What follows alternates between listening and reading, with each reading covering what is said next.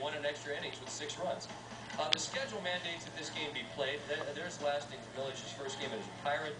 Um, this year is uh, what Sean Burnett says. They're, they're the laughingstock of baseball. They've gotten rid of everybody. They won't keep anybody around. What's going to bring people to the ballpark? Well, I'll tell you. Pierogies and presidents racing. And here we go. Check out Teddy Roosevelt. He's never won a race in Washington. This is his moment.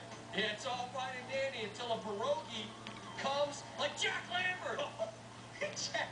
Are you kidding me?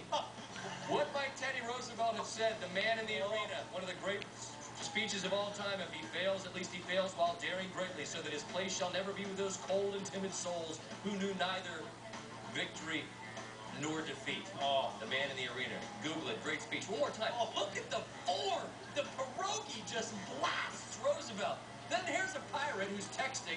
Look at this guy. This is the greatest highlight I've ever seen, and we haven't even seen a play yet. Show me a play. There's Nyjer Morgan popping up to end Oh. the game. Some people did some good things. Normally, I'd like to see the plays. In this case, I, what more do you want out of a highlight? There was a real live pirate who probably had scurvy, and a pierogi who knocked down Teddy Roosevelt. It is. I don't know how you top that. That was spectacular. Read just that. goodbye right now, huh? part. Uh, hey,